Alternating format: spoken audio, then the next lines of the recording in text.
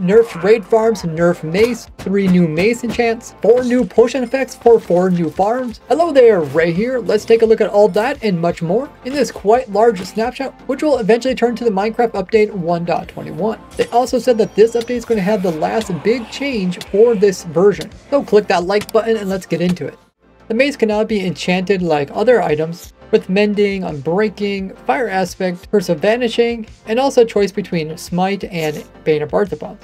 But there's mace specific enchantments like Density. This is a common enchantment you can get from like enchanting table or enchanted books from looting. and can go up to level 5. With this enchantment, you can do an additional damage per block that you fall with each level giving you an additional damage. So with level 5 and just falling one block, you can do 8 additional damage with a single hit. There's also the Breach enchantment, which goes up to level 4. This is a rare enchantment, but can still be found inside enchanting tables and enchanted books. And its special ability is when used, it will reduce the effectiveness of armor by 15% per level.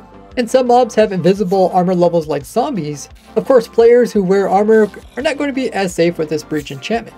There's also the Wind Burst enchantment. This goes up to level 3 and this enchantment can only be found in the new Ominous Vaults. When used will emit a blast just like the Wind Charge. With more levels you get higher up in the air. And you can string these attacks together so you can stay up in the air. A cool way you can kind of get the wind charge effect without having to have a whole bunch of them. That'd be a cool way to kind of access your base just by having an armor stand always being there. This can be used to move items from dead mobs off to the side whenever a mob dies and does this wind charge pushing. With all these cool enchantments, you can get quite a bit of use out of this. And these new enchantments cannot be applied to normal weapons. The mace has a new particle effect when it comes to hitting mobs. This only occurs when the smash is enabled. You also increase the power and range when it comes to how far it can knock back other things, but only occurs when you fall from greater than 5 blocks and all vertical motion is stopped. Notice the player kind of stops mid-air before falling again when there is a successful smash. This way you don't have to worry about accidentally getting some type of fall damage afterward. But if you continue to fall, you will get it. The additional damage which is done from the smash attack has been reduced down to 1.5 blocks per fallen block. So you'll have to be slightly higher when wanting to kill mobs. The new mace weapon got nerfed today. Before you could actually use this falling with the Elytra to actually hit a mob, and the mace would count this going down really fast with the Elytra as the player falling, which would work with the mace's ability where the farther you fall, the more damage you can do whatever entity you hit. So I could one hit this villager here very easily, and if you're really quick, you could pull out of the Elytra dive and save yourself from all that kinetic energy that would normally kill you. Now I already did a whole video about this nerf and new ways you can still do massive amount of damage easily in survival. So check that video out in the description after watching this one to learn all the new strats needed to use the mace. And I put out a poll on my community tab. You only have to be subscribed with the bell notification set to all in order not to miss these. But I asked you guys what you thought of the mace nerf and almost 20,000 you guys answered which was amazing with the majority of people not caring that the mace got nerfed. And out of the no's and yeses, more people were happy that the mace got nerfed nerfed than those that didn't want to get nerfed. And thanks to everybody who left a comment, there were so many great comments discussing the balance of the game.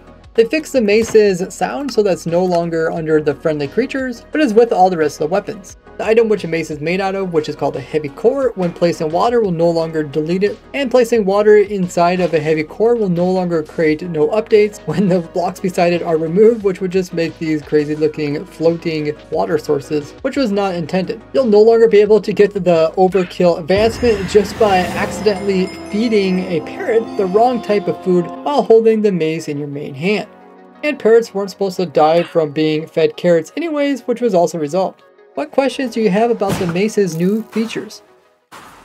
They redid how Bad Omen works as well as raids. It all starts out with the trial key. So after defeating one of these trial spawners, you get a chance of getting one of these trial keys. Then using the trial key on these vaults, which are now more up into the walls. And then once you use your key on it, there is a chance of you getting some new items. One of the new items includes Ominous Bottle. You can see if you drink this, it's going to give you an hour and 40 minutes worth of Bad Omen level 2.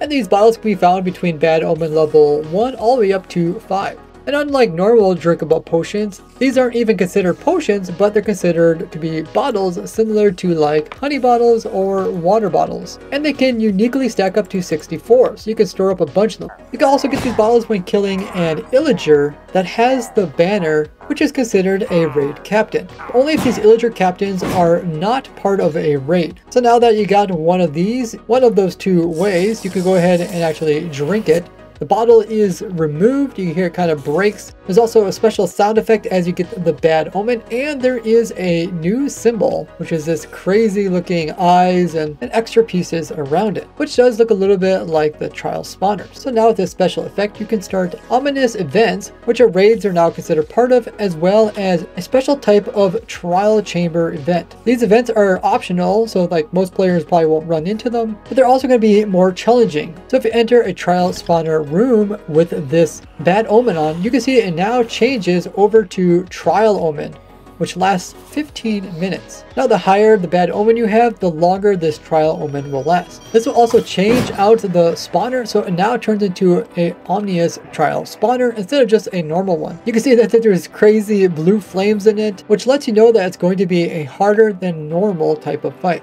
Now you can already see there's some special stuff going on over here, such as throwing out potions. You can see that the trial spawner is also coming in and just summoning wind charges mid-air. There's one over there, and then all of a sudden it just gets shot. It looks very strange, it just kind of sits there, accumulates, and then pushes player about. And it could drop these splash potions as well, and get different types of effects. Here we got one that has slow falling. There's also fire charges that get dropped, as well as the new oozed potion. Anything that has the ooze effect will then spawn in two slimes when it dies. This is uh, very strange, but you can see this can be used to make like a slime farm, as any mob can be turned into slime.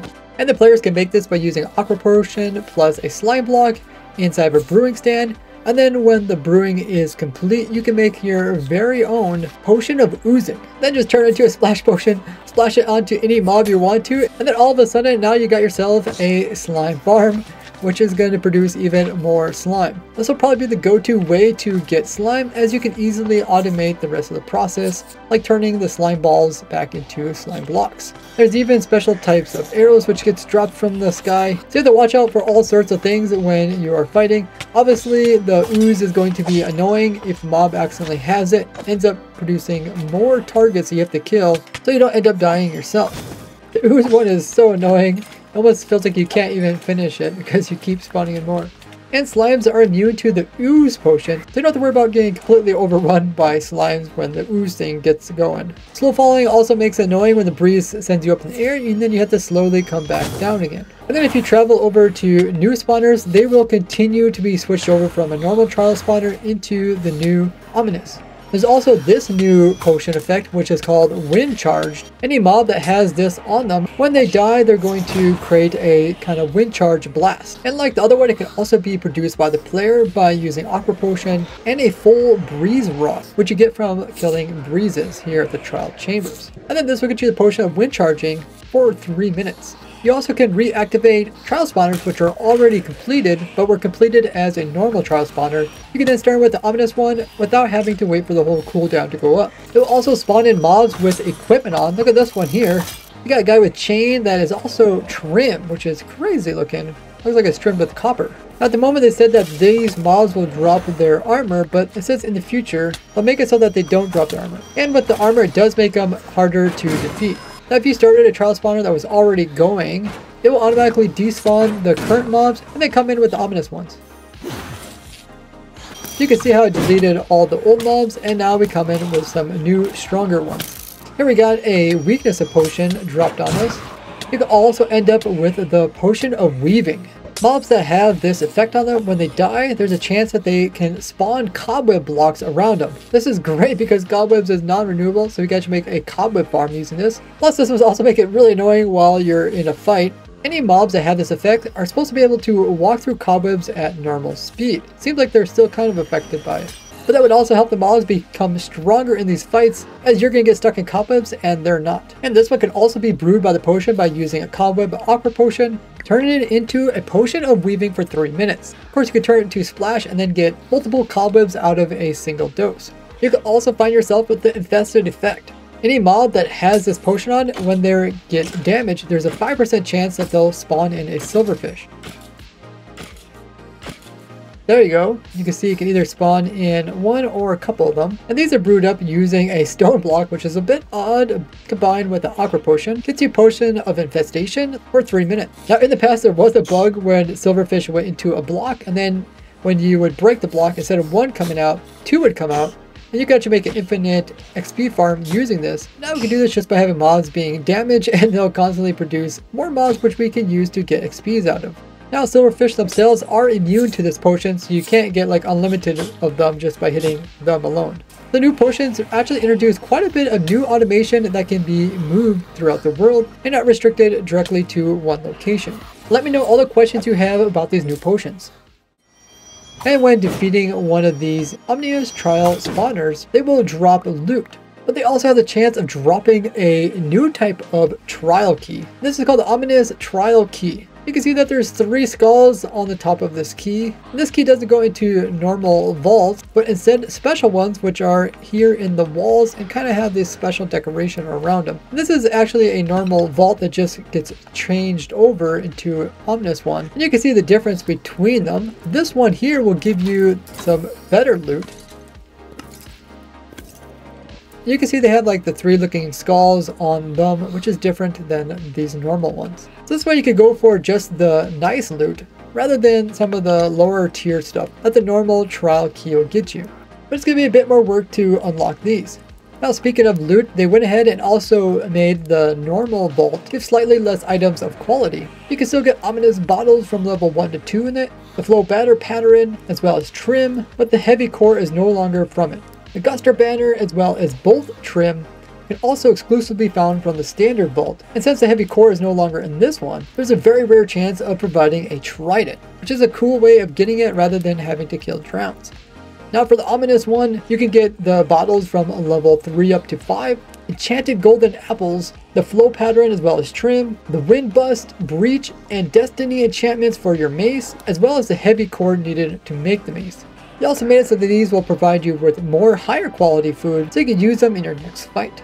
Now the chance of getting one of these keys from the trial spawners is only a 30% chance compared to the 50% chance of getting a normal trial key. So on average you have to fight 3 of these in order to just get one of these keys and remember that each key can only be used one time on one vault for one player. So then you have to go to a whole new structure.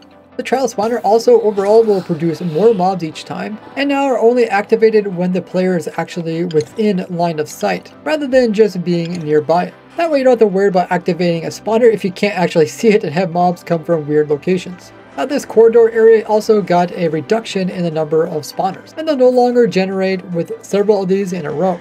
And many other small changes were added to the trial chambers. So now that you understand how the whole bad omen thing works, how does it change my stacking raid farms? This means my different types of stacking raid farms got nerfed. Here is my simple version, which also has the Hero of the Village section added onto it. You guys learn more about them in these videos here. But instead of getting bad omen from the actual captains which hold the banners, now they will drop potions, and the potions have to be drank by the player in order to get bad omen again to start the next raid. But since I already have an automatic sorting system, we can just sort these potions out from the rest of them, just like I can sort away the witch's healing potions with my Allay sorters here. And then we can always pipe the potion back over to players so that they can use it to continue the entire raid system. I've also been improving my stacking raid farm versions, including adding in the trick I showed where Ravagers are much weaker in these later 1.20 versions. And I'm even working on a Breeze version which has no pistons. So make sure you're subscribed so you can be the first to see those. And since the raid farm already does need an auto clicker, we would just have the bad omen in the offhand. And then besides just having it attack, we'd also have it hold down use for a moment to restart the raid. This does mean we need a more complicated macro, but it's still possible to automate this farm. So now when you drink one of these near a village, you can get the bad omen level for so much time. And then after that time goes up, once it counts down to zero, then the actual raid starts. And then only then the raiders will spawn in. But we'll have to whack armor stand every once in a while, and then drink a new potion to start up a new bad omen. You can see how this has been done to slow down the amount of raids coming in. You can see that despite these guys coming from the raid, we can still get the new ominous bottles because the raid was moved out of the area and they're no longer part of the raid. So we just have to send these bottles back to the player so they can use them again. What do you think of this nerf to the raid farms? Do you think they were too OP? As they were the most productive farms in giving the most unique items from a single farm. And you can also get like emeralds, XPs, plus tons of very useful items all from a single setup. A bug report that I made was finally fixed and that was this weird bug where when you put the bogged mob, which is the new mob coming in 1.21 inside of a boat or any type of writing, it would end up sitting way up in the air, unlike the skeleton, and this is because it was sitting in there similar to a villager where it thought it wasn't bending its legs. They made the breeze smarter so it won't jump into dangerous areas, Wind charges will no longer be able to be used to activate ender crystals and blow them up, probably because it's a little bit too easy to knock out the ones around the dragon fight, as you can aim pretty precisely with these things. They also went ahead and fixed advancement when it comes to who needs rockets, as I was saying the player only needed to jump up 7 meters, but you really actually have to go up to 8 before getting this. Comparators weren't updating properly when it came to certain types of containers, and droppers and observers were ending up in the wrong states. This bug was only in the last snapshot and is no longer here. The italicized names which come from the special explorer maps as well as the ominous banners, when these were placed into item frames, noticed that the names were being switched out to normal text. So they changed it so they will also keep their italics. They also fixed this problem where ominous banners, which you get from these hanging on the actual structure, were different than the ones you get from the pillagers, being that they're showing every little step needed in order to make this where the ones you get from killing illagers has it all condensed into a single item. And you no longer have the problem of placing down these special ones from pillagers, and then when you would end up breaking them, they wouldn't keep their condensed information, but instead would sprawl it all out like the other ones. During these past couple snapshots, slimes and magma cubes were kind of ignoring their spawning properties, ending up spawning on stuff like carpets or spawning in smaller areas than what they can actually fit. So now they went back to the way it was before.